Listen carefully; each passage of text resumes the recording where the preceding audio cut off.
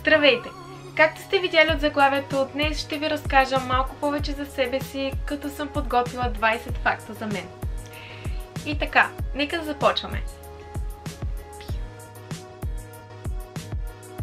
Родена съм в град Бургас, на 17 години съм и уча в руска езикова гимназия. Занимавам се с фитнес, като вече от малко повече от една година тренирам с тежести. Вече от половин година си пресмятам калориите и макронутриентите, като правя гъвкава диета или Effective Макрос, което ми позволява да хапвам вредна храна от време на време, без това да попречи на прогресът ми.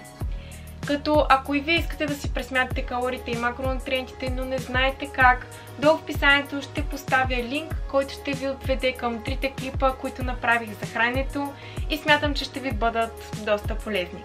Имам брат, който е на 21 години и е студент, учи кинезитерапия в София. Също така той ме тренира и като цяло ме запали по фитнеса. Преди да започна с фитнеса, тренирах 4-5 години лека атлетика, също така съм тренирала модерен балет и като мъничка тренирах акробатика. Работя в KFC вече от 6-7 месеца, като започнах там с цел да си купя камера сама, с тази камера, която снимам в момента, а тя наистина е доста хубава и скъпа, просто исках да, да си я купя сама. И разбира се, не почнах само заради това, исках да разполагам с малко повече пари и да не натоварвам родителите си. Като по-малка много играех League of Legends и понеже имахме един компютър, брат ми след като останеше, аз сядах и играех с неговите приятели. Дори си спомням, че един от любимите ми герои беше Мис Форчън и Ахри. Бях много добра, бях 30 ниво, бях много голяма конкуренция момчета, но се оттеглих. Обожавам да ям сладко. Може би това е най-големият ми проблем, защото просто когато видя сладко, просто се разтапям. Изключително подредена съм в училище, т.е. когато отворите една моя тетрадка, вие веднага ще може да намерите каквото ви трябва. Всяко едно заглавие, всяка една точка е написана с червен химикал. Всичко важно е подчертано с текст маркери, което е един много голям плюс, защото така уча много по-лесно и всичко наистина е много подредено. Но за сметка на това, една моя отрицателна черта е, че съм разхвърлена в къщи. Тоест, вместо да подреждам стаята си, да отделям 5-10 минути на ден да си оправям стаята, аз я оправям на, да кажем, една-две седмици, когато вече всичко се разхвърли и има много повече да се подрежда, затова съвета ми към вас е. Подреждайте си стаята всяка вечер по 5-10 минути и така ще ви е много по-лесно. Опитвам се и аз да го правя, отколкото да стане някаква кочина и да не може да я оправите. Много обичам да гледам фентази филми и сериали, а, както и приключенски.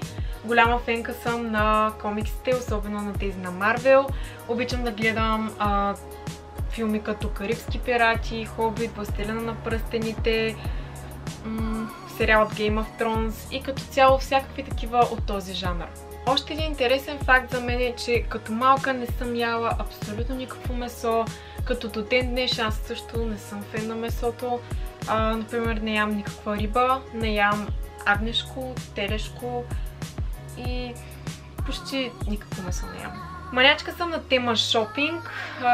Тоест, когато аз вляза в един магазин с цел да си купя, да кажем, една тениска, която съм си набелязала, аз влизам и дори да не купя, пробвам най-различни неща и се бавя много време.